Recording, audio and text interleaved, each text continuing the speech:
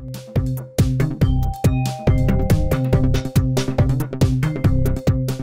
El subsecretario de Salud Zona Sur de Quintana Roo, Luis Ángel Blanco Márquez, reveló que en el estado existen tres problemas de adicciones, el alcoholismo, el tabaquismo y el consumo de enervantes. Además afirmó que en Cancún y Playa del Carmen tienen los indicadores más altos en cuanto a problemas de alcoholismo y ello se relaciona con los accidentes por el uso de este problema de salud.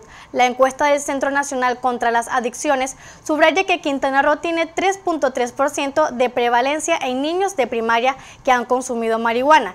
Y Cancún y Playa del Carmen destacan en los primeros lugares a nivel estatal según esta encuesta nacional. Uno de los predictores del abuso de sustancias son los problemas emocionales no tratados, trastornos de ansiedad o fobias que cuando son infantes no se piensa que puede ser un problema cuando se vuelven adolescentes y los traumas evolucionan a fobias sociales o dificultades para tener relaciones interpersonales. Diversos estudios muestran que en los varones es donde se presenta más el fenómeno de conducta antisocial y depresión en las mujeres.